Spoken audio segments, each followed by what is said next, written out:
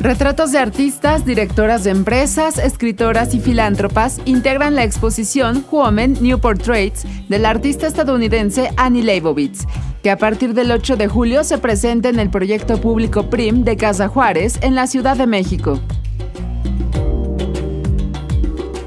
This show is an installation. It's a pop-up show, um, and it is indeed a work in progress. We were intent on using uh, historical architectural structures and buildings around the world that would eventually have a, a new life, a, reuse. Um, Casa Juarez uh, has, does have a checkered past, um, but it it's been abandoned for some time and it's in the process of transitioning into to an art and design space.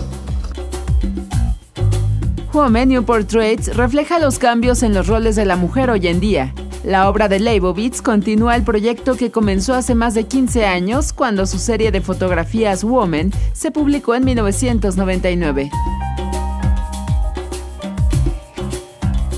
I was concerned that the subject is, is a subject as big and as broad as women was it was just too big. It was like going out and photographing the sea or photographing the ocean.